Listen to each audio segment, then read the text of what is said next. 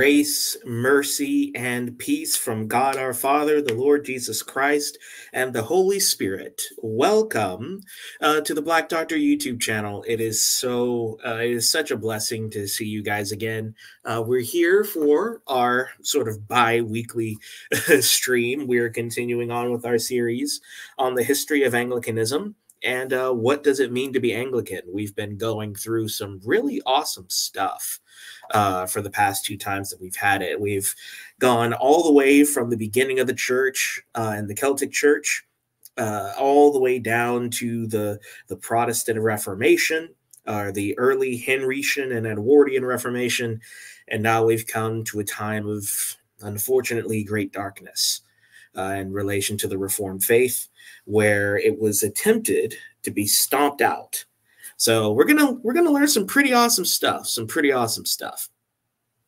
Uh, in order to do so, uh, we have our regular gang with us. We have our awesome, awesome guests. So uh, we have our boy, Mikey. What's good, friend? Hello, sir. It's so good to see you, Uncle Black Doctor. I'm just here to see. I'm trying to convert everybody to let them know that Hinduism prove Islam. Somehow they can appeal to our Vedas and our many gods to prove their one God. It's fantastic. Mashallah, mashallah. if you if you guys don't know uh, what what Mikey's talking about, uh, he's been he's been making some content about some of the craziest things that some of the Muslims are saying this is these are the links that they're going to have to go to in order to prove their religion. Basically saying that the vedas of the hindus apparently mention muhammad and therefore you know show islam.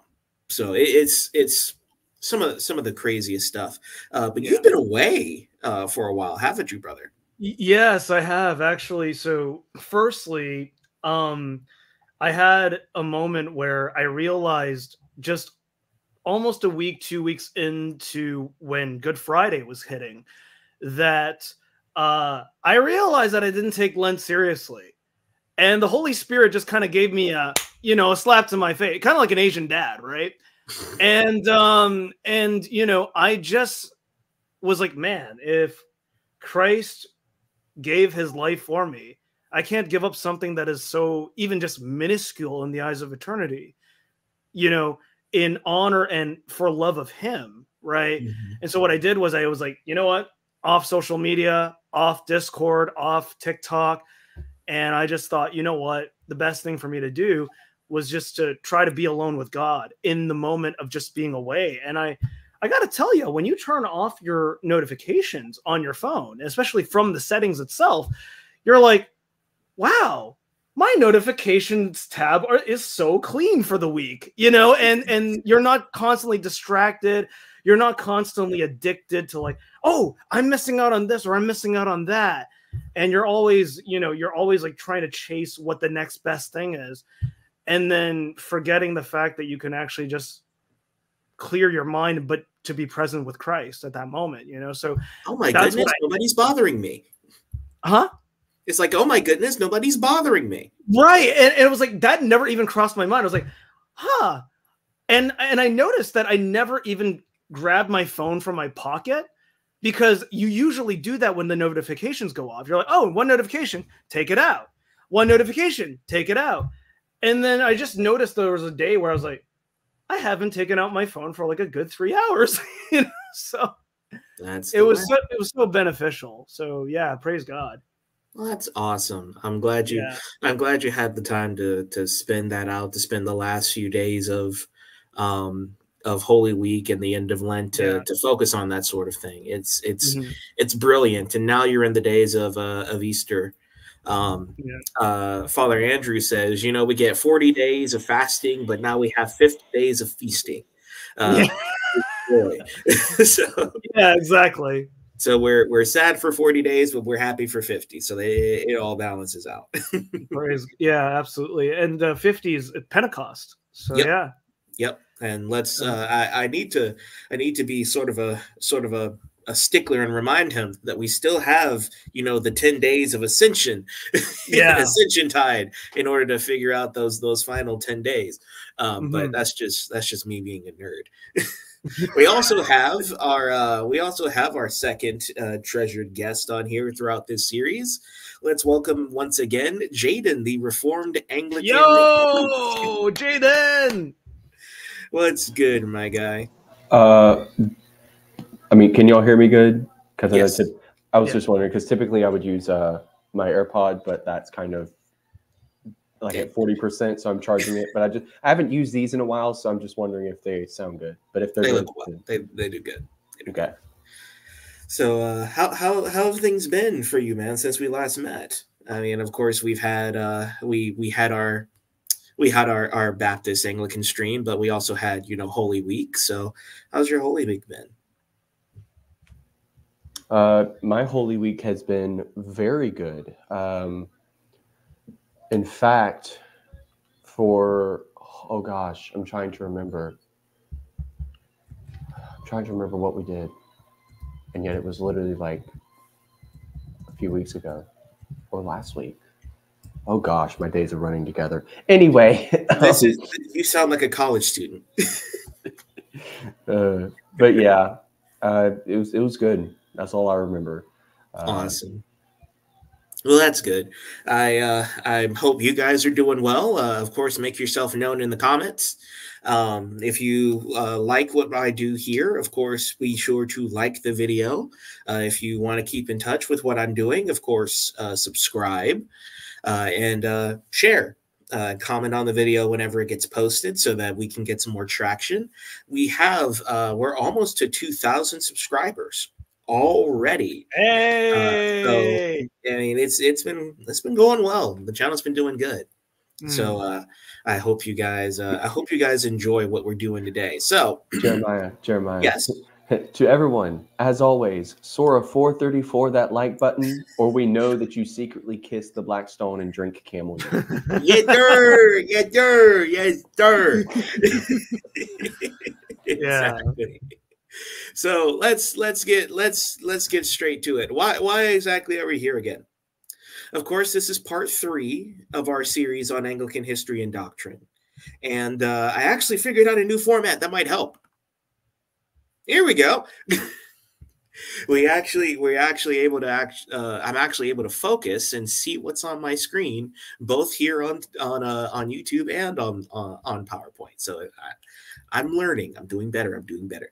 Um, so this is episode three of Anglican history and doctrine, and we're entering, of course, into a time of of uh, of darkness. Part one is, of course, the reign of Bloody Mary, and then part two, uh, what we'll do in the next two weeks, uh, is the reign of Queen Elizabeth.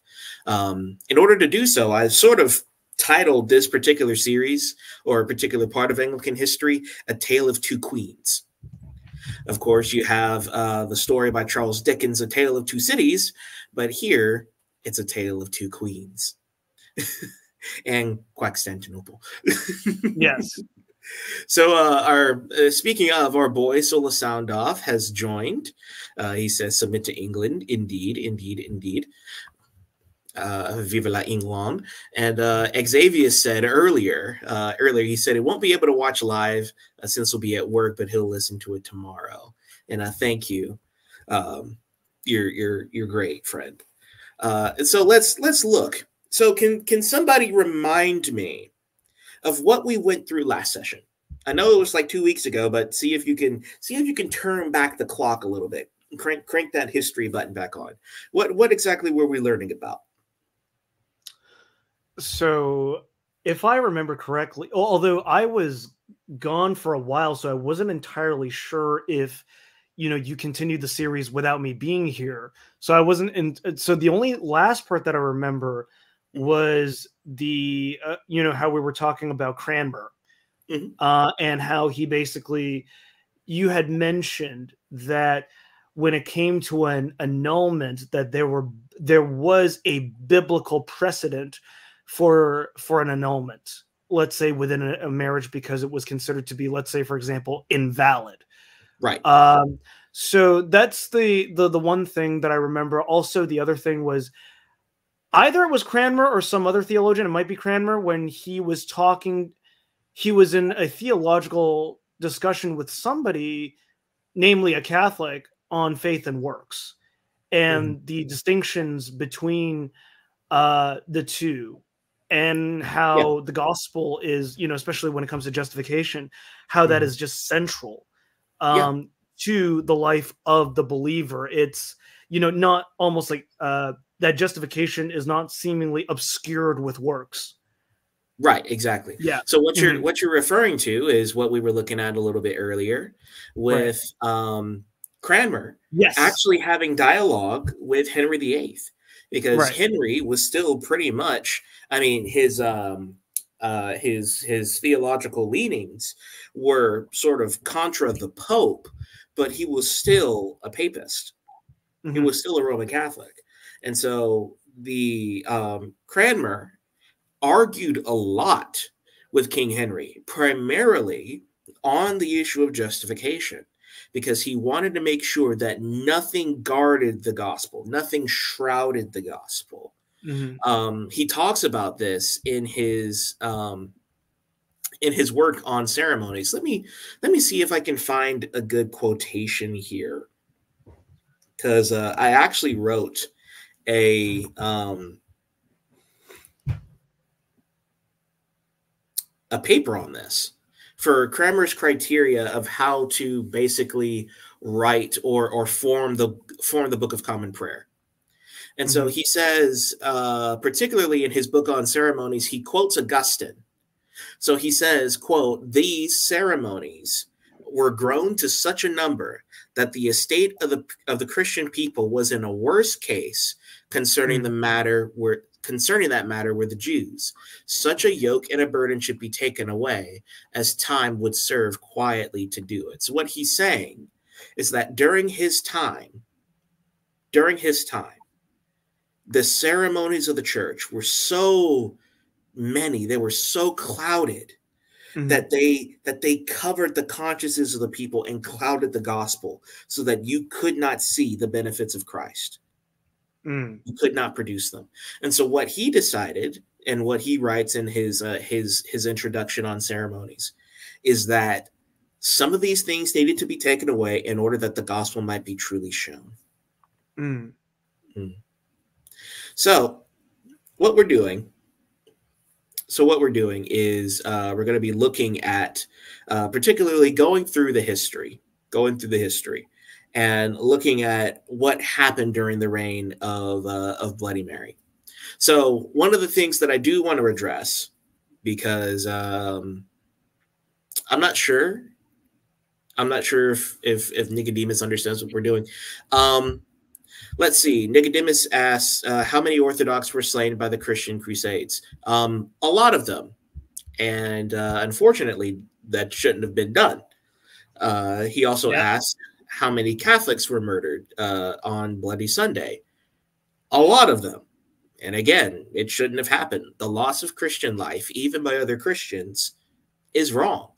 Yeah. Absolutely. And so you say Christian bashing is not of God. Indeed. But that's not what we're doing. Mm. As you can see, what we're what we've been doing so far is we've been simply telling how history is. We're looking at the history of the English church and we're looking at the moniker that unfortunately Mary, Queen of Scots, earned, and the people attributed to her that she was Bloody Mary. But we haven't even gotten that far. Right now, we were just talking, taking a recap of of the uh, of of the the previous episode. Of course, the the beginnings of the English Reformation.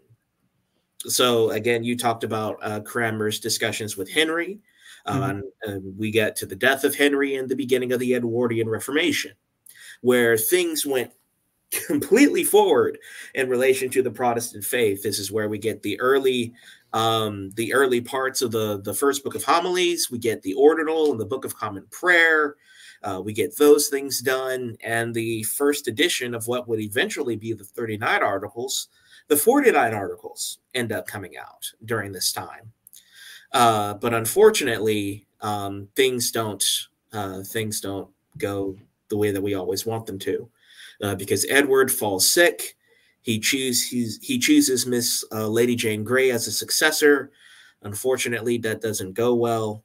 Uh, I could have actually retold uh, Lady Jane Grey's story entitled the this this episode "The Tale of Three Queens," uh, because a lot of people, most of the time, when listing the kings and queens of England, they skip Lady Jane Grey.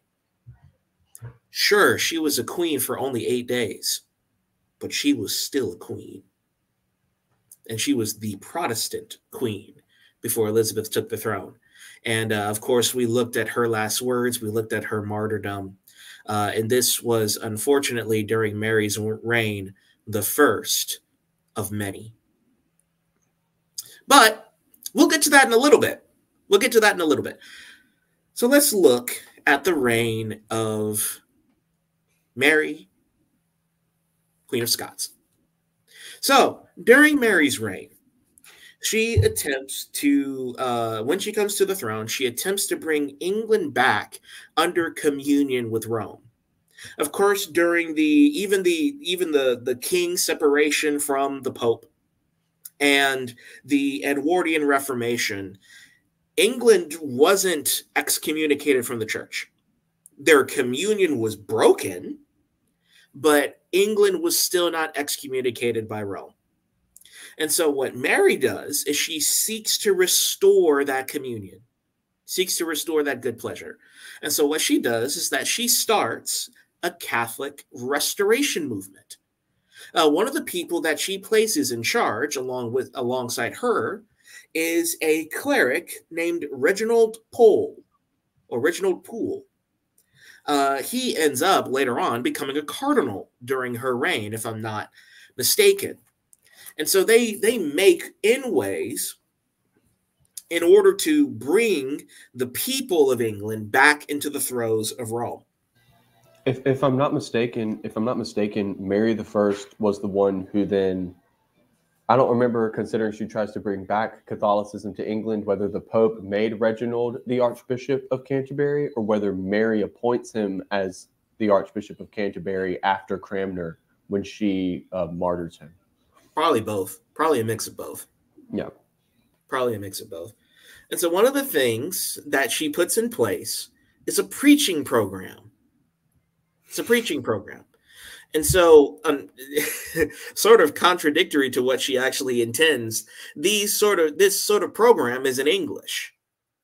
It's in English, but it's advocating to go back to the use of liturgy in Latin outside of the language of the people. So the program, in and of itself, is sort of a counter homilies. Of course, you have the rise of the Counter Reformation for the rest of the continent. So here in England, you have a counter homilies in order to combat the first edition of the Book of Homilies. So you you begin to teach about purgatory. You begin to teach about transubstantiation and these particular things that uh, the English Church disagreed with, the supremacy of the Pope and things of that nature. And in doing so, Mary and England tries to make an alliance with Spain. And that alliance works because Mary ends up being married to Philip of Spain. So now, not only is there a political agreement, but there is a marital agreement. And you would think because the, the, the Spaniards are mainly Roman Catholics that that's going to solidify their uh, their their particular perspective in relation to um, to Rome. Uh, and so like this is the state of Mary's reign in the English church. There is a pulling away from the uh, from the Reformation, the 1552 prayer book. Like hardly before it even gets into the hands of the people, is immediately banned. You can't use the prayer book anymore because it's in English. And so you tried to bring back some of the ancient, some of the the uh, Roman Catholic rites again and so and so England at the time is under the the the rule of a Roman monarch. And so you're everyone is probably thinking, well great, Mary's here. What the heck are we to do? what happened to the what happened to the reformers? And so you get uh you basically get this. A, a lot of stuff actually happens uh, during Queen Mary's reign for the Reformation. So what we see is that Knox, uh, some of the Puritans, and a lot of others in England, they actually flee to German lands. They flee to Frankfurt. And it's there that you have a greater increase in the Puritan and Reform tendencies on the continent. Uh, there, you have debates playing out upon uh, particularly the use of the prayer book. Do we stay with the 1552 prayer book? Like, is it reformed? Or do we keep going? Is reformation still needed in relation to the prayer book? Because if you remember, some of the Puritans, like John Knox and, and, and John Hooper, said that England still needed reform during the Edwardian Reformation. It wasn't reformed enough. There were still some of uh, some Roman Catholic trappings that needed to be taken care of. Um, and so those people during that time disagreed. Disagreed. And so Knox ends up leaving Frankfurt and going to Geneva. And there, in going to Geneva, he works with Theodore Beza. He works with Theodore Beza. And there, while he's in Geneva and he's working with Calvin's successor, Theodore Beza, he writes the Geneva Bible.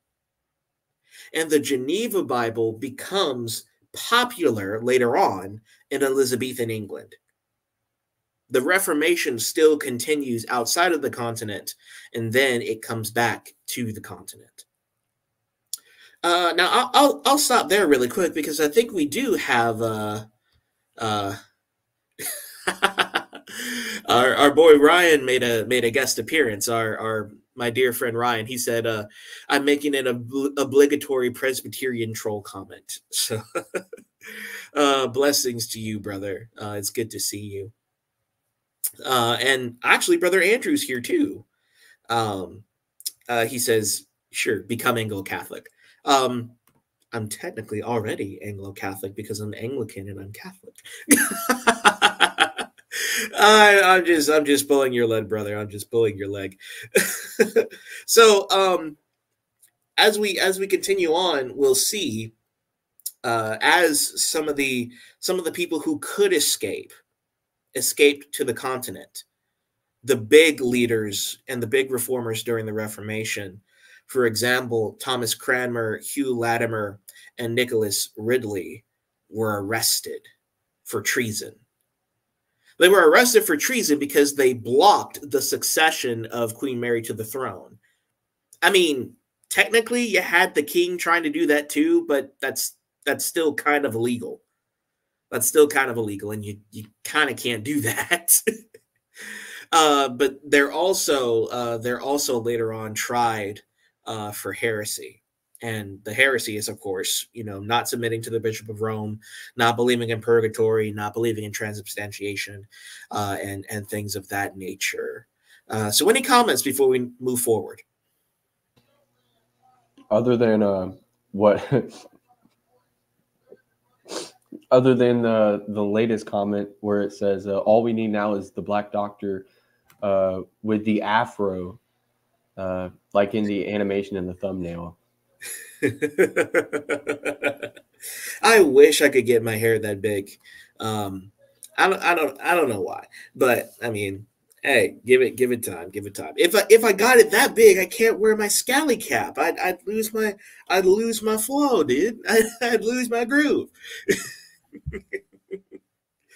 oh man. So any anything before we move on because we're we're gonna get to the uh this might be a little bit short a little bit of a short episode. It'll probably be like what 45 minutes to an hour long. Um but uh any any thoughts be, before we continue on? Nice.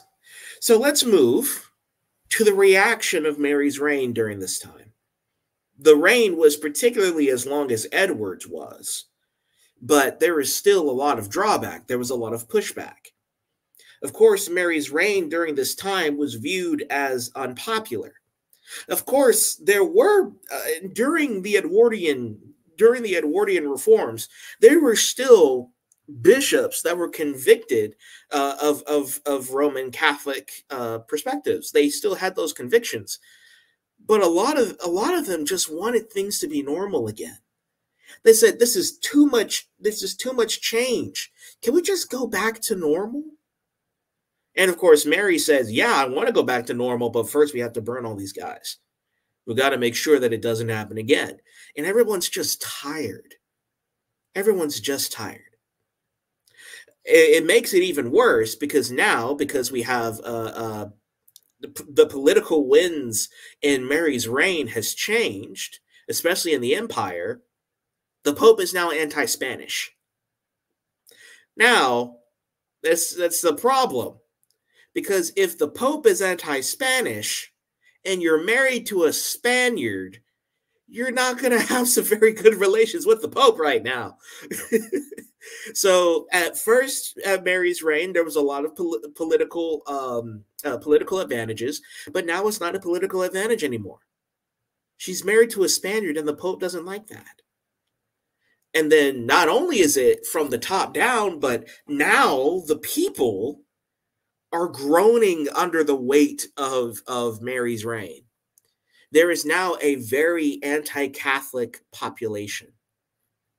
A lot of a lot of people are are realizing that, you know,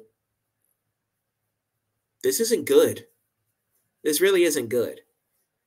Um and as they see, they actually make a comment in England that the martyrs' fires burned consistently during Mary's reign they burned consistently. Now take um take for example um King Edward's reign and let's compare them. Of course, you probably already see it on the screen, but how many Roman Catholics do you think were executed during uh, King Edward's reign? Uh, only 10. Yeah, 10. Very few. I mean, those ten are are, are to be uh, are to be mourned for because the death of any Christian uh, is a is a tragedy. But nevertheless, only ten. Compare that to Mary's reign. Two hundred and ninety-eight people were executed, and twenty more didn't even make it there. They died in prison. And so the perception was for a lot of people that Mary killed a lot of people. A lot of people. And so this is where she gets the name Bloody Mary. This is where she gets the name Bloody Mary. And so Wait. at the end of Mary's reign. So Jeremiah, yeah. Jeremiah, so what I'm hearing is Okay, so what I'm hearing is if you're a Catholic and you do the Bloody Mary challenge, she won't appear. But if you're a Protestant, you'll walk out beheaded or or burning, is what I'm hearing. You'll walk out of that bathroom on fire. you are terrible. You are absolutely terrible. It, it, was what? It's just an idea. that, that, that's just worse than my thing of saying, you know, did Jesus have like tea and crumpets in England? You know, but then I'm joking. I mean, well, technically, if you if you consider, you know, I mean, the the tale that Joseph of Arimathea and Jesus actually went to England, uh, then maybe they started the trend. They started, yeah. to, uh, not Elizabeth. but um, that's terrible. Anyway, um, by the end of Mary's reign, by the end of Mary's reign, everyone pretty much was anti-Catholic, and so um it was actually, as I pointed out a few times before, Mary's reign and trying to bring back Catholicism back to the Church of England actually did more for the Protestant Reformation than the Protestants did during that time. Because sure, the the point of the point of making the uh, the Reformation during Edward's time was to make Protestantism sound uh, sound good but it was during the reign of Queen Mary where everybody decided that anything was better than Rome. Anything was better than Rome. And so eventually, Mary and Pole eventually pass away, and Elizabeth takes the throne. But before we get there, before we get to Mary's reign, I do think that we need to hear to spend the rest of our time listening to the voice of the martyrs. Because uh, aside from something like St. Bartholomew's Massacre, England is the only Reformation country that had martyrs, that had full on martyrs. So, um, what do you, some of you guys have read Foxe's Book of Martyrs, haven't you? Or at least heard of it? So during the uh, during the Reformation, uh, we've already seen a few of them. Uh, how many how many martyrs do you think um, that you could list off the top of your head that are that, that are listed in Foxe's Book of Martyrs? I mean, the one that comes to my mind who is very prominent is William Tyndale. Because Mm-hmm. uh, we know that Tyndale was somebody who had translated the Bible into the English vernacular Yep. and had suffered persecution and was sadly burned to death. Yep. Um, and so I, I think that's which is why, like in my city, we have a place called the you know Tyndale University. It's dedicated to him, right? It's a Bible, it's a Bible college, Correct. and so that like th- that's that's definitely one name that comes to my mind for him. Hmm. Uh, Jaden, uh, how about you? Um, at least with a number. Oh gosh. I want. I- I've only heard of Foxe's Book of Martyrs, but at least from my understanding, List them or your mid. I. I. That's crazy. Um, but I would say hundreds at least. Oh yeah, In- there's in- there's a lot. I mean, yeah. the Foxy's Book of Martyrs is full. Um, of course, we've we've read a few. Of course, you you pointed out William Tyndale. We read his testimony. Um, of course, we have Lady Jane Grey. Um, we also have not necessarily the death of Martin Butzer, but during Mary's reign, um, Mary was so upset at the Reformed that she burned the bones of Martin Butzer. Martin Butzer was invited to England and died there. Then Mary dug up his body, dug up his bones, and burned them. It's very similar to what happened in the Council of Constance, remember? You know, in the Council of Constance, when um, it's not Jan Hus, um, but the other proto reformer um, during the Council of Constance, his body was uh, was was uh, exhumed, burned, then thrown into the River Swift. And so Mary is basically sort of doing the same thing. Mm. Uh, so we'll we'll look at some of the voices of the martyrs.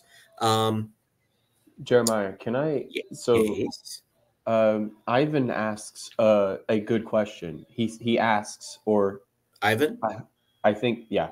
Um, I don't understand why we still say I believe in the Holy Catholic Church and the Creed. Um, are still co- are, are still copying Catholic overall. Um, the term no. the term the term Catholic uh, historically um, never actually went back to Rome. I mean, when Ignatius was when Ignatius coined the term Catholic or Catholicos, he was not thinking of Rome essentially he was referring to the church overall worldwide or as acts 931 would indicate cathales the ecclesia cathales the church throughout all um, and so when we say in the creed i believe in one holy catholic and apostolic church we're establishing that the church was founded on the apostles and that it spread forth from the apostles through succession and that church is one but that church is also again throughout all of the world and that we Yes. are part of that one church correct. right and also just to just to also mention too that uh, saint ignatius like when he mentions in his epistle to the romans the presidency you know for the church in rome to have the presidency what's interesting is that if the supremacy was really that obvious he would have mentioned the name of the bishop there, and he didn't. Yep. And that's well, kind of one thing that needs to be kind of also brought up in the sense that there, you know, when we look at Catholic, we're talking about people who, yes, we all hold to the Nicene Creed. And at the same time, you know, despite, yes, today we have denominational barriers uh, between different Christians, nevertheless, we are very universal because the Spirit of God transcends the very denominational barriers within each believer's hearts. Mm-hmm. And so that's what makes, like, you know, Catholic, Catholic. Um, so that's how I would answer that. You're exactly right. Uh, I do want to. I do want to put out a, a, a, super chat that we got. Uh, the word and I. What's good, brother? Hey, word and I. He says, uh, "Black dog, salam al masih." Sup, Mikey? Uh, God bless you all, brothers in Christ. Thank you so much, Word and I. Thank you for the super chat. It is a, uh, a blessing to uh, participate um, on all of your lives. You're just you're just absolutely awesome. Uh, uh, so it, it's just man, I love being on your lives, even though sometimes the people that we generally invite up are incredibly, you know, aggravating. But we do it not for the sake of them; we do it for the sake of the gospel. Yeah. for the sake of the gospel, indeed. Um, so let's let's begin with looking at some of the voices of the martyrs. We won't go to the ones that we specific particularly have on screen yet here, um, but let's let's read a little bit of uh, of, of some of these. Like for example, um, do you know who the first who the first martyr or the first victim of Mary's persecution was? If not, it's a man named John Rogers. John Rogers, who was a clergyman attached to St. Paul's Cathedral. He was burned at the stake in London on February 4th, 1555. When the Lord Chancellor asked Rogers if he believed that the sacrament was the very body and blood of Christ, really and substantially, basically, uh, in the words of transubstantiation, his reply was an emphatic no. Quote, for I cannot understand the words really and substantially to signify otherwise than corporally. But corporally, Christ is only in heaven, he said, sealing his fate.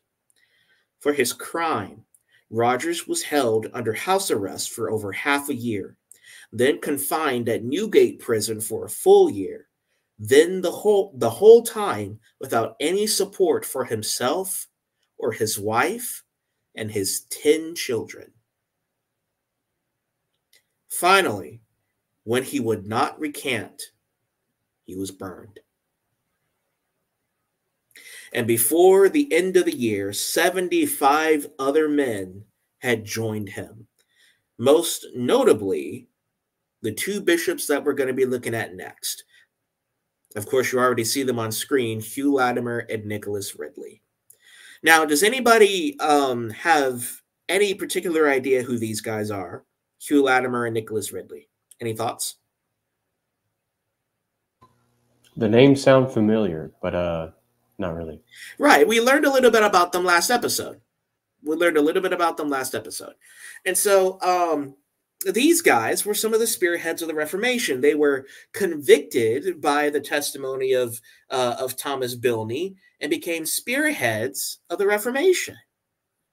They worked alongside Thomas Cranmer in order to bring the Reformation to England, and now through their preaching, um, they're going to pay for it. Unfortunately, unfortunately, but here let's see. He says, prior to the end of 1553, by the way, the question is, what am I reading? Um, I'm reading the book Our Anglican Heritage, uh, the second edition by John W. Howe and Sam C. Pascoe. So it's it's a it's a pretty okay book. Um, it sort of makes a positive argument argument for women's ordination. We don't need to worry about that right now. Um, but it also has a counter argument uh, in here by John Rogers, which I highly recommend you read. But that's still not that's not what we're talking about right now. Um, Jer- Jer- Jeremiah, yes. I apologize. I I I feel compelled to address this. So, Ivan, if we were remove if we were to remove that we believe in the Holy Catholic Church or in the one Holy Catholic and Apostolic Church, if we were to remove that from the creed as though we don't believe it, then we are essentially removing ourselves from the global body of Christ, as to say yeah. we are not part of the global body, which yeah. was is basically us denying our Christianity.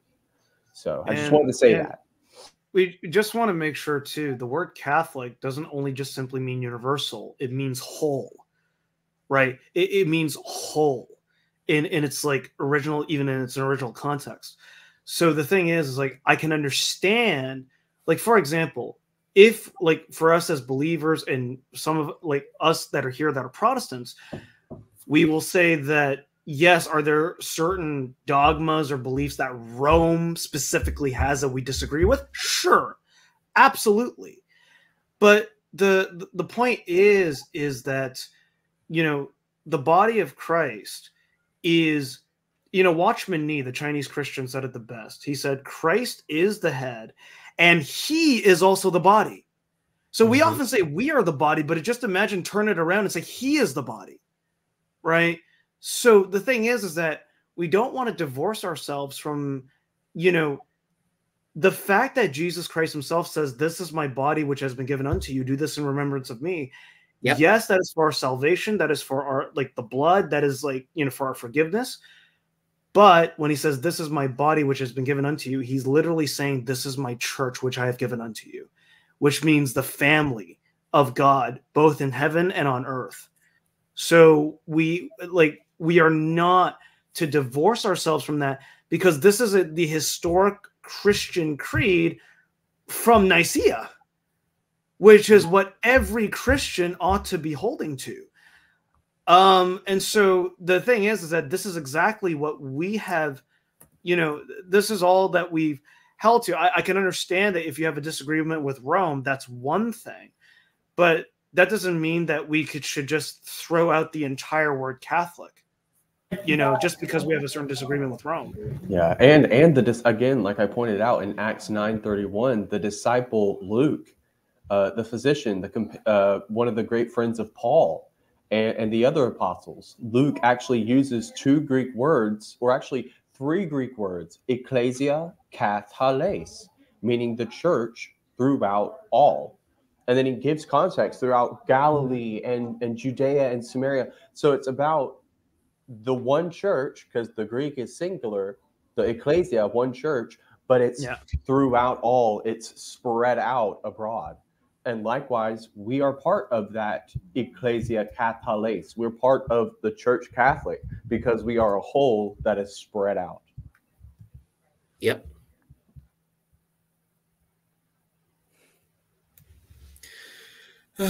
so let's see. Where do we where do we put this here? Hmm, yeah. So now that that's now that now that that's taken care of, um, let's get back to what we were talking about. We were talking about particularly the martyrdom of Hugh Latimer and Nicholas Ridley. I was trying to make sure that I got the right quotes here. Um, and so, as we were talking about, these men were were great men of the Reformation, and unfortunately, their testimony paid the price when it came to the ire of Queen Mary. So it says Prior to the end of 1553, these two bishops had been confined to the Tower of London, along with Archbishop Cranmer. Remember, they all got arrested. Uh, later, they were transferred to the Bocardo at Oxford, which Bishop Coverdale, the guy who wrote the Coverdale Psalter, which, if you use the 2019, it actually uses a modern rendition of the Coverdale Psalter, um, describes as a quote, stinking and filthy prison for drunkards, whores, and harlots, and the vilest sort of people. So it literally says these holy men, Latimer and Ridley, were placed in a place, uh, placed in a home of, uh, uh, where, how, how should I put this? Um, Obi Wan pretty much described it as a wretched place of vile and scum and villainy. So it's not necessarily a very good place, uh, not a good place at all. And so, having inherited leadership in the church, when most of the clergy knew nothing of the Bible, and some could not even repeat the Lord's Prayer, these men had not only helped rediscover the gospel, they revitalized preaching. While Cranmer was the praying catalyst for the English church, Latimer and Ridley were the preaching catalysts for the English church.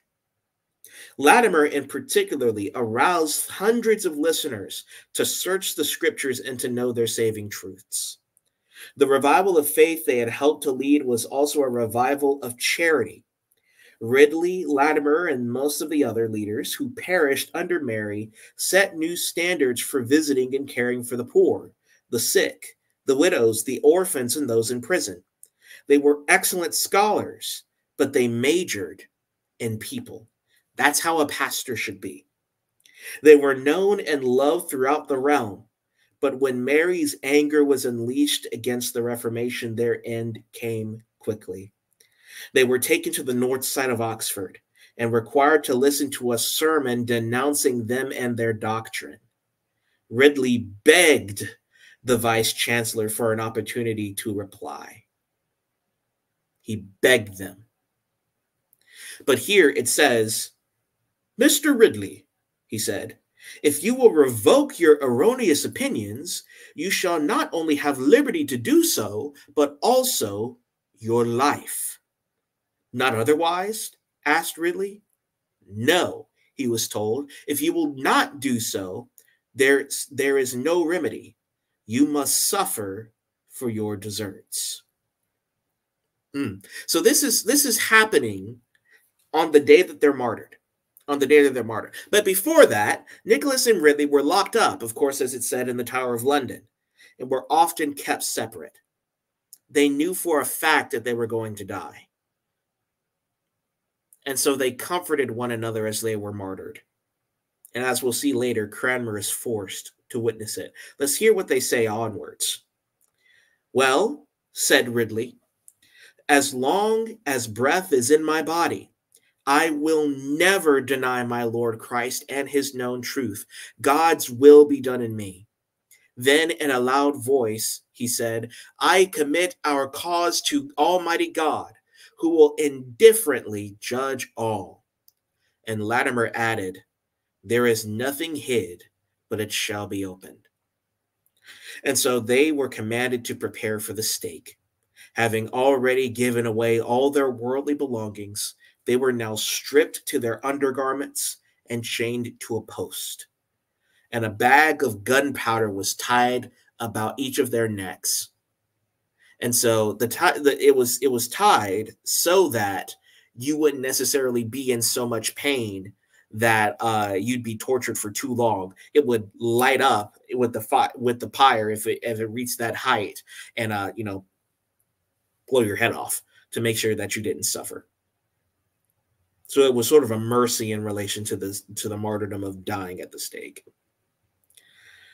And so Latimer spoke his final words. Be of good comfort, Mr. Ridley, and play the man. We shall this day light such a candle by God's grace in England as I trust shall never be put out. And they did. The pyre was lit and they died. And watching the double burning from his prison window, Archbishop Thomas Cranmer knew his own ordeal was just ahead. Any thoughts before we move on to Cranmer's death? You know, there's a lot to there seems to be a lot of not like connections or correlations with the deaths of either the reformers or the proto reformers. Now, of course, the death of any Christian, whether Catholic or Protestant, should be like a sin and a stain. You know what I mean? Like it like anybody who dies in the ha- uh, like under the hands of um you know any Christian that dies under the hands of another Christian, it's just like unconscionable.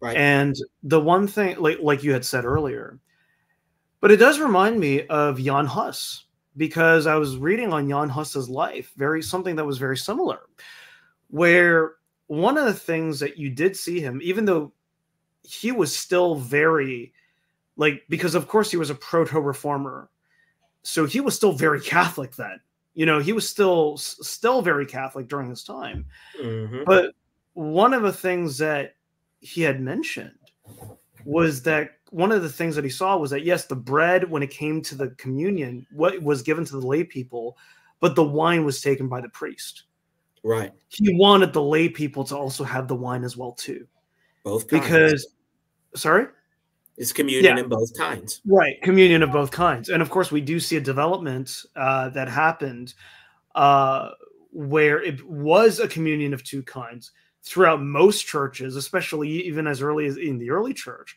but then of course it became one kind right like through And like, Rome through the- acknowledges that. Rome, Rome acknowledges that it was the early Yeah. practice of the church to have communion in both kinds, but they said, no, we're not doing that anymore. Right Yeah, it and was if- an accretion it was and- an and if- And if and if I'm not mistaken, like I don't mean to jump ahead, but like with regards to uh because we can see later on, like after the reign of Mary, like this idea of like the priest alone taking the wine, but the the lay people only get the body. Like that's something that was still occurring even after the reign of Mary. And we see this Yeah. because of Matthew Parker in his in his um in his not exposition but sort of um accumulating of 39 articles he act like article 30 of both kinds where it literally Mhm. says that the cup of blessing should not be refused to the lay people Correct. So Yes. we, we even see that I, I that idea of of only one kind regard regarding uh the the bread alone being given to the lay people something still occurring even after the reign of Mary.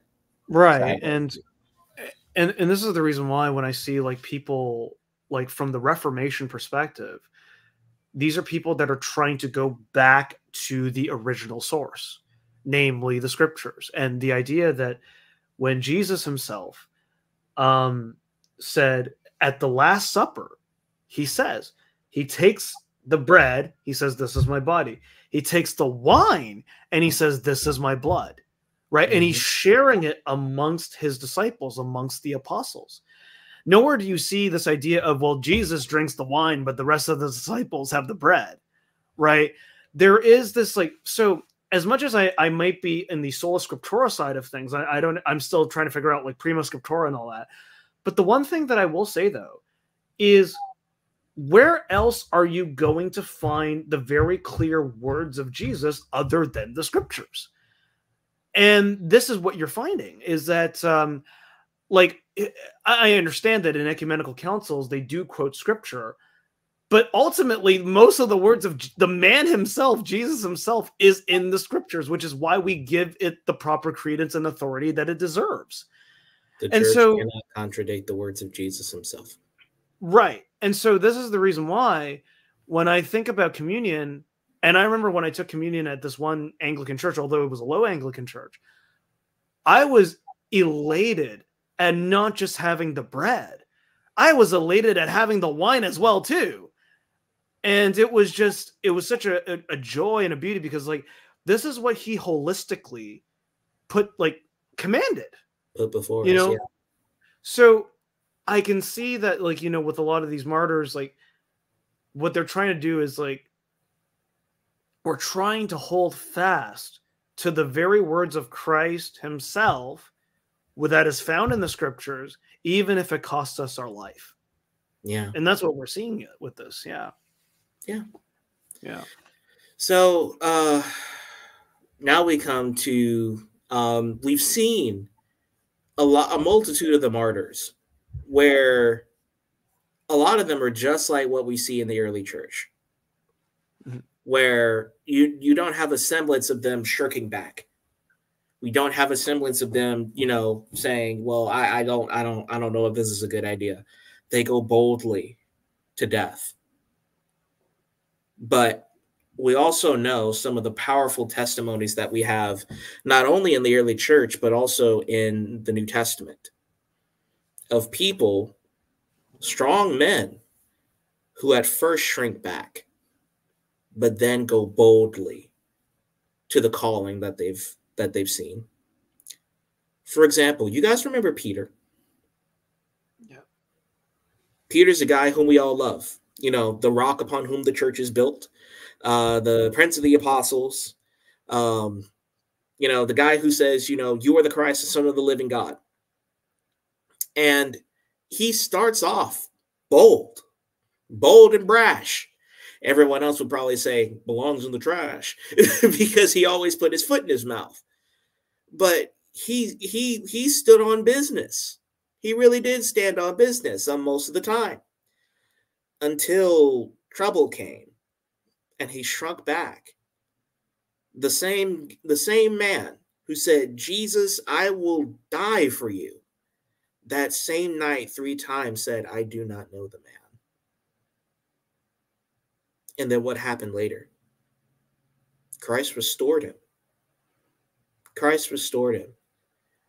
And he went on to be a prominent leader in the church. One of the prominent leaders, one of the pillars of the Jewish church, as Paul would say in Galatians. So I think this same example as what we see here in the martyrdom of, of Thomas Cranmer, one of the primary leaders in the English church. Um, for the little time that we have, let's read through his story. So, Thomas Cranmer, during his during his arrest and during his imprisonment in the Tower of London, endured 18 months of psychological torture. 18 months of psychological torture. And so eventually he recants his political uh he uh he recants his political tyranny and his political um against the queen. Because he has a high view of the king. He has a high view of the state. And so that's the first to go. But then later on, he privately recants his theological views. But that's not enough for Queen Mary. He recants it privately like five times out of torture. But that's not enough. That's not enough. Let's hear how he was martyred. In some ways, this one has to be the most difficult of all.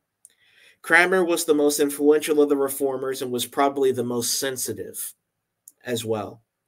Having begun a loyal Roman Catholic with reservations only on England's political independence, his ideology had become thoroughly reformed.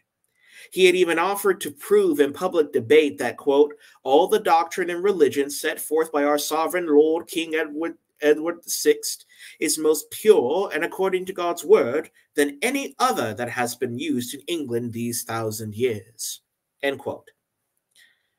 But Cranmer was also a political creature, and politically, he faced the dilemma. Having broken with Rome out of allegiance to the crown, what was he to do now that the crown had returned to Rome? Cranmer wavered, and finally, after intense pressure, 18 months of psychological torture, he recanted. He recanted. It was a sorry fall, and the news was trumpeted throughout the land but his persecutors weren't satisfied. They were determined to humiliate the whole Reformation in the person of Thomas Cranmer. They wanted to humiliate him, and they demanded his death. But in their zeal, they sealed their own fate.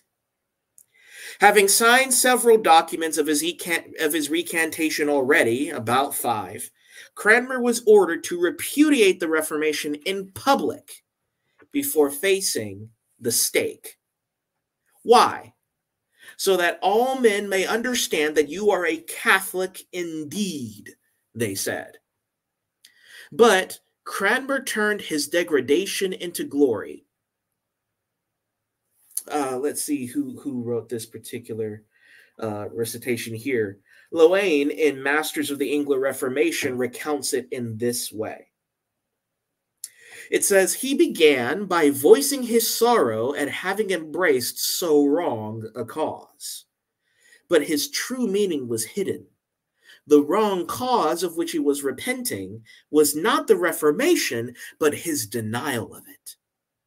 Archbishop Marcus Loane writes that Cranmer managed his speech with such skill that he was allowed to run on at some length before his real drift was perceived. At length, his true meaning became clear. This is what he says. And now I come to the great thing that troubleth my conscience more than any other thing that I ever said or did in my life. And that, and that is the setting abroad of writings contrary to the truth, which here now I renounce and refuse. And forasmuch as my hand offended in writing contrary to my heart, Therefore, my hand shall first be punished. For if I may come to the fire, it shall first be burned. As for the Pope, I refuse him as Christ's enemy and Antichrist, with all his false doctrine. And as for the sacrament, he couldn't go any further. All the pent up fury of a thunderstruck audience broke out. He was dragged from the stage and hurried toward the stake, but he himself actually set the pace, striding so quickly that the friars accompanying him had to run to keep up. And then, as they tied him and the fires leapt up, he held the offending hand in the flames until it burned to a stump. He said, wow. This hand offended. He looked up into the heavens and he said, I see the heavens opened and Jesus standing at the right hand of God. Then, as the rest of his body burned, without crying or squirming, he simply said, Lord Jesus, receive my spirit. He I was going to go to Acts chapter nine. Yes, that Stephen. Story, like I Stephen, bro. Why is it that like right oh. when you talked about when he was preaching, and then it got to the point where people just got angry and just rushed him to the stake? It remind like the first thing that came to my mind was Acts chapter nine, and oh sorry seven seven not Acts chapter nine Acts chapter seven and mm. Stephen, of course, he was stoned to death, but as he looked up, he saw the heavens open and he saw God, the Father, and Jesus standing at the at the right hand. And then he says, Lord Jesus, receive my spirit. And right when you said that, like, I'm like, his story reminds me of uh Saint Stephen. Yeah. And you want you want to know something funny? Whenever I was looking at it, it was like because just looking at it, it's like 18 months of psychological torture. First recants his political tyranny, privately recants his theological views. When forced to recant publicly, he confesses his evangelical faith. And then you started reading from that book, basically like listing out, okay, like, you know, like they like something about uh forgive me if if I misquote you or uh misphrase it, but like his his actual like his act like what he actually meant. And and the first the only thing that i'm thinking about is like what if he's like yes i recant everything that i'm saying you know like that like fingers crossed kind of thing. Like yes i recant every single thing that i'm saying. But uh yeah. i just found that to be funny. And then once he finally get up there he's like the pope is antichrist. Like you know what? Bump the sacraments, bump, bump transubstantiation, Forget the Pope. He's mid. like you said, like you, like you said, he couldn't. It is. Get, oh my goodness. He couldn't even get to the sacrament, and he's like, and with regard to the sacrament, and they just drug him. Like they they took him yeah. just like Stephen. They, yeah, they couldn't handle it. They meant they meant to embarrass him, mm-hmm. but he embarrassed them bro. Mm. he embarrassed them. Yeah. And it's crazy because like I, um one of one of the things um oh man one of the things that's said here in consideration because I already talked about this a, a little bit. One can hardly remember that sturdy one can hardly help remembering that sturdy apostle who promised to go with Jesus to the death, but denied him three times before the cock crowed the next day. On the beach one morning after having after the resurrection, Jesus promised that same apostle that by his own death he would glorify God. Mm. Peter was later to write, Beloved, do not be surprised at the fiery ordeal which comes upon you. After you have suffered a little while, the God of all grace, who has called you to his serve uh, to his eternal glory in Christ, will himself restore, establish, and strengthen you. To him be the dominion forever and ever. Amen. Always frail, Mary's own death came on November 17, 1558, of natural causes. She wasn't yet 43 years old. Her hope had been to return England to Roman Catholicism. Her legacy was just the opposite. It was quite certain that the martyrdoms during her reign did more to spread the settlement, uh, the sentiment for Reformation than did all the previous governmental efforts. Mm. In trying to stop the Reformation, Mary sealed it. He sealed it in martyrs' blood. What does Tertullian say? That the blood of the martyr is the seed of the church. The blood of the martyr is the seed of the church. When those go to their deaths proclaiming the reality and truth of the comfortable words, God honors that. God honors that. Because the gospel is worth suffering for. The gospel is worth dying for. Because we serve a God who thought that for the sake of his kingdom, for the sake of his people, for the sake of his son and his spirit, he thought that his elect was worth dying for. He thought that you and I were worth dying for. So, what do we make of this? What do we make of this and what it means to be an Anglican? An Anglican is someone who stands upon biblical truth to the point that they're willing to go to the stake. And even when they waver, because a lot of us are too kind for our own good and too sensitive for our own, for our own good, we live in a reality and in a history that tells us that a righteous man falls seven times but still gets back up. Brothers and sisters, we live in a day and age of theological compromise, and many of us have lived in that, that sense of compromising. Let it not be so anymore. Let it not be so anymore. Stand for the truth of the gospel because it is sealed, it is written in the blood of Christ and sealed by the blood of the apostles, prophets, and martyrs. This is our history. Embrace it. Embrace it. Any last comments before we uh before we end the stream?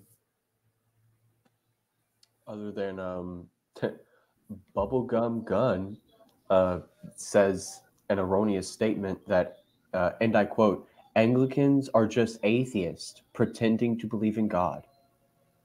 John Shelby Spong.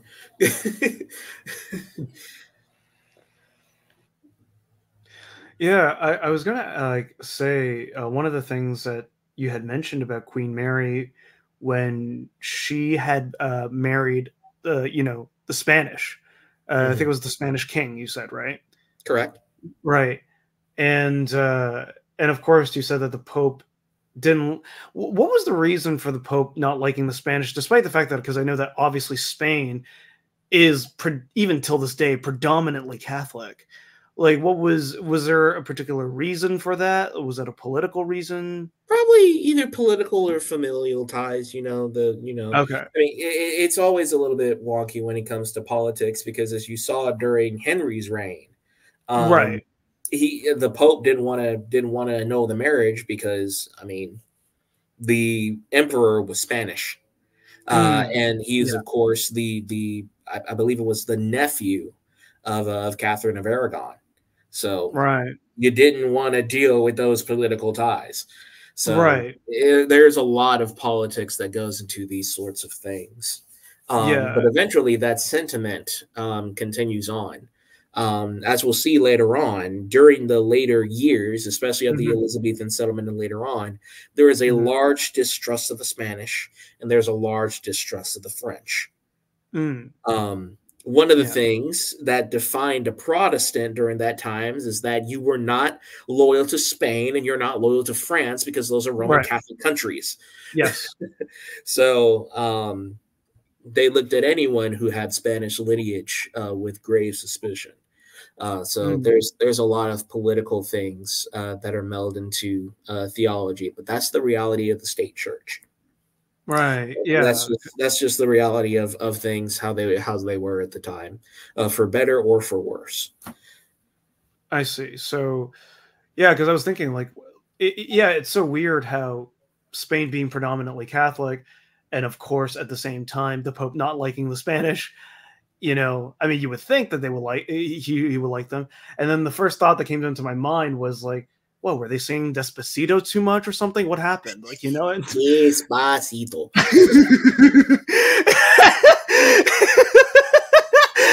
That's terrible, bro. I, I I am so racist. I think I'm the most racist one on this stream. That has got to be.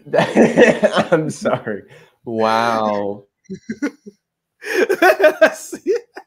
Even BD's like, I am so disappointed. Why do I keep having him on this panel? Like, You you inadvertently triggered my impulsive thoughts, bro. Oh my goodness. Just oh wow. I, I- we we were supposed to end the live on a on a good note here. on a note to encourage, not not abject racial stereotypes. Oh my goodness! I, I gotta, I gotta. Where?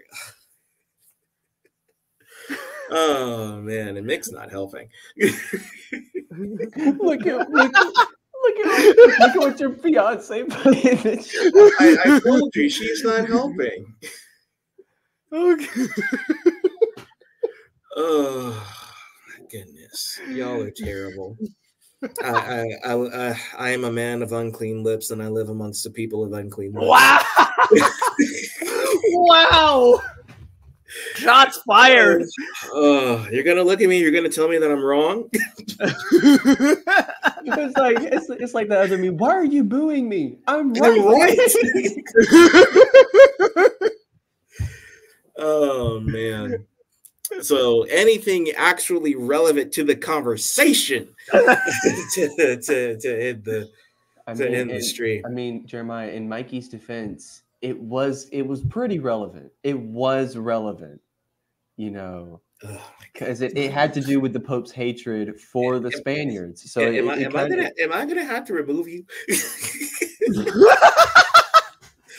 Excommunicated. I'm a I'm a pull I'm a pull an unlimited power like I usually do on the Word and I stream. Any, anyone who annoys me just suddenly disappears. Gone. oh man, but um, what what do we what do we have for next time? So just next time we're going to be going through some of the really awesome parts uh, of of history. Um, really awesome parts of history. We're going through the Elizabethan settlement. Uh, we're going through the Elizabethan settlement. We're going to be looking at, of course, the the rise of Queen Elizabeth. We're going to be meeting, you know, like you said, guys like Matthew Parker. We're to read. We're to meet Richard Hooker. We're to we're to meet some some really awesome people. We're going to go to the Act of Uniformity. Uh, John Whitgift, John Jewel. Um, uh, dude, it's it's gonna be awesome. And I mean, hey, we might even get into the Stuart monarchy.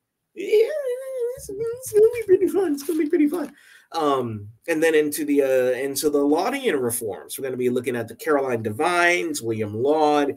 It'll be it'll be great. It'll be great. Uh, a history buff will love it. An Anglican buff will love it too. And I'm sure I will force every single one of you to actually like Anglican history.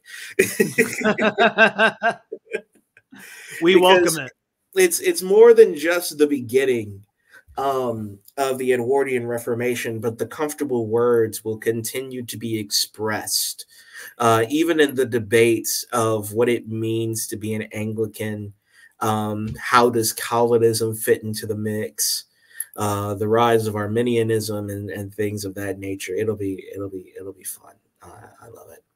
Yeah. Wow. Wow, Jaden, look at you putting a First Timothy two twelve for um for uh Jeremiah's fiance there. Wow, wow, you're wow. really getting picked up now. Wow. Really I mean. I mean, I mean, she lit she.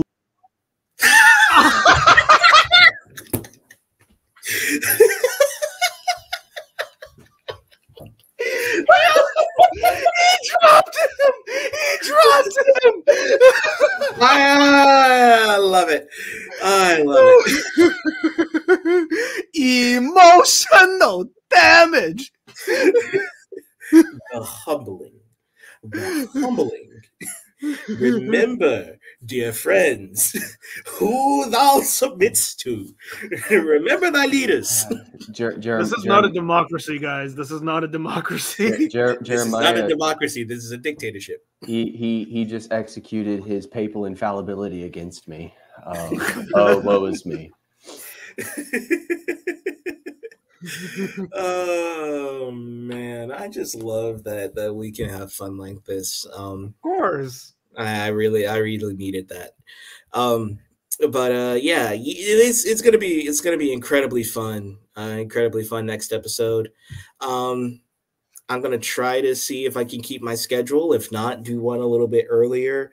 Um, but we're it's it's crunch time in relation to school and yeah. crunch time and literally in relation to everything else that I have on my plate. Um, How's the trip coming along? I wanted to ask you, uh, Jeremiah, like the trip to London, like how's that coming along right now? It's going pretty well. I've, I mean, I've, I've made a good enough money to where I can, uh, I mean, I paid for housing. I'm literally about to pay for flights, so things have been okay. great in that regard. I, I'll mm. probably just need a little bit. Um, if you guys would like, uh, of course, to to help. Um, we're we're just making sure that we uh, that we have more than enough to be comfortable during the trip. Yeah. So um, let me let me see if I can let me see if I can get it up here. Yeah, the word and I was asking about your GoFundMe. He's like, "What's your GoFundMe?" He wants to he wants to be able to see it. Oh. Um, I actually I do have the link actually right here. Let me just post it in the comments. Um, oh oh wait, it's not allowed to. Oh right, because I'm not a mod. I can't post it. You are not so. a mod. So I I got it. I got it. I got it. Don't worry. Don't worry. Don't worry. Don't worry. Don't worry. I got it. I got it. I got it. I but, yeah. I know mod just because I'm Chinese. Anyways. Oh man, heavens have mercy upon me. What, what am I going to do with you? What am I going to do with you?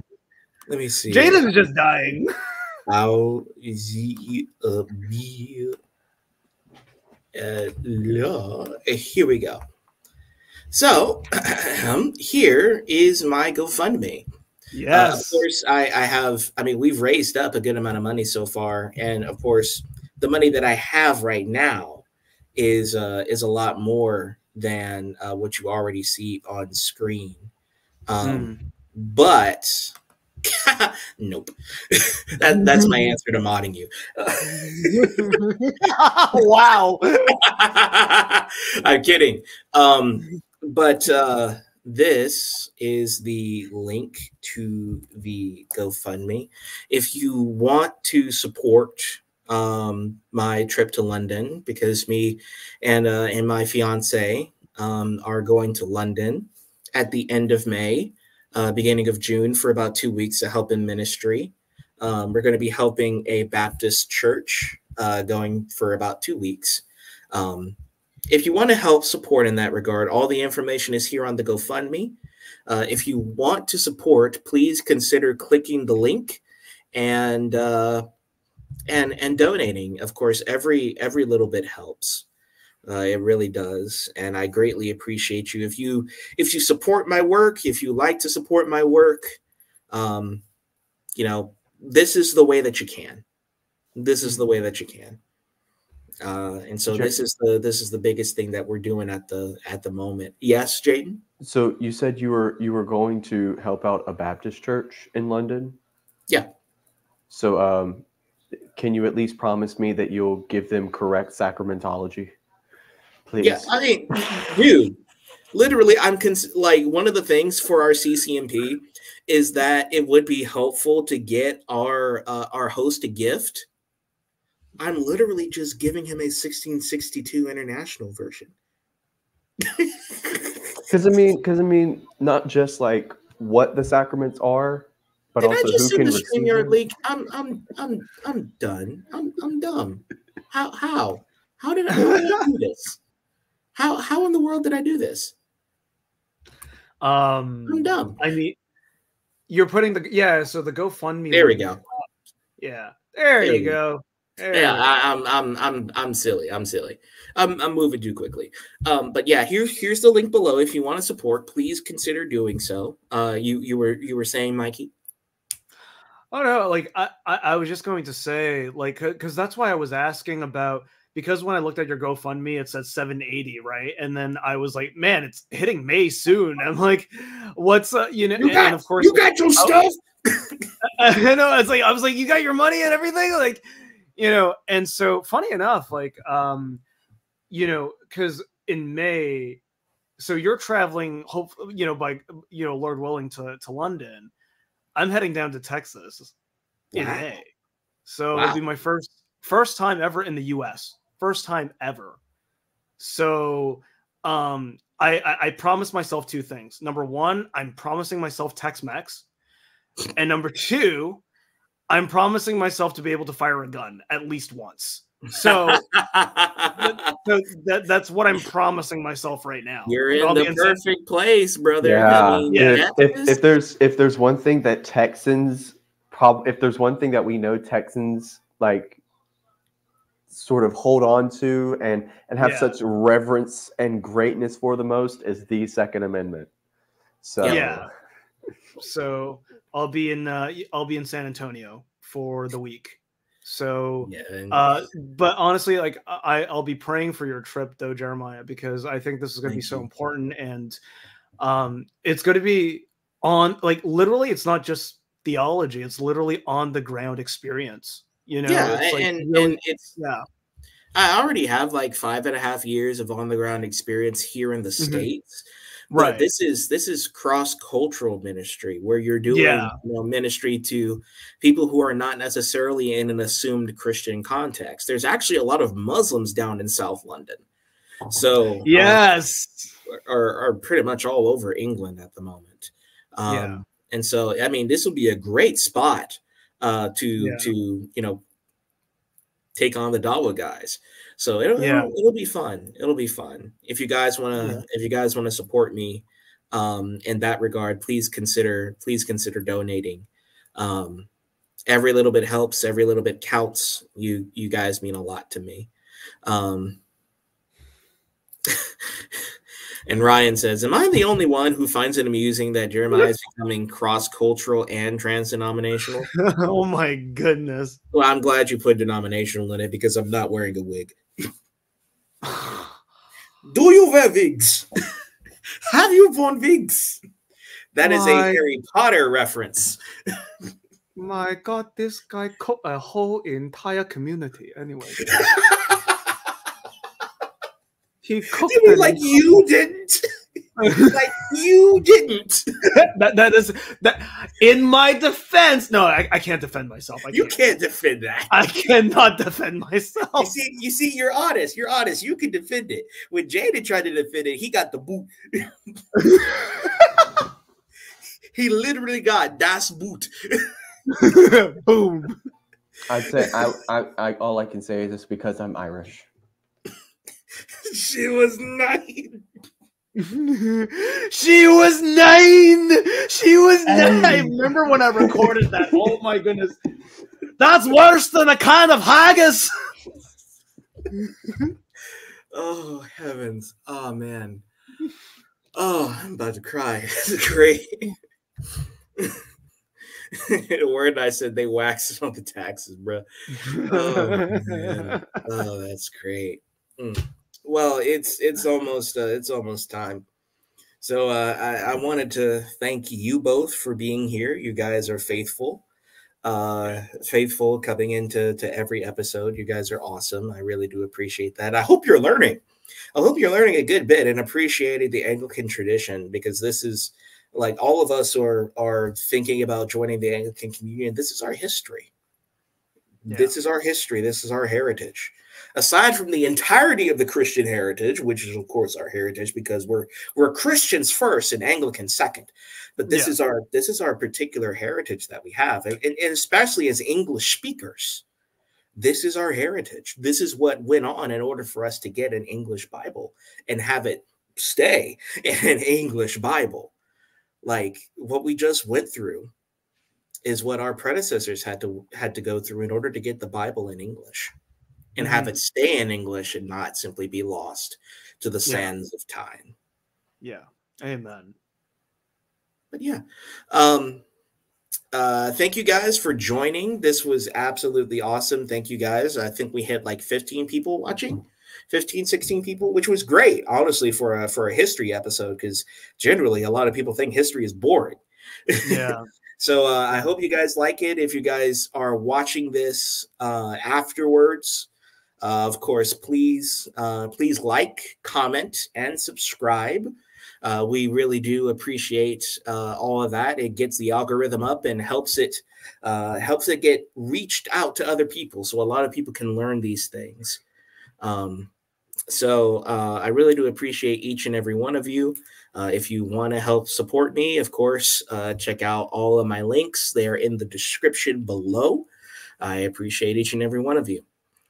Uh, may the grace of the Lord Jesus Christ, the love of God the Father, and the fellowship of the Holy Spirit be with us all evermore. Amen. God bless God you. Bless.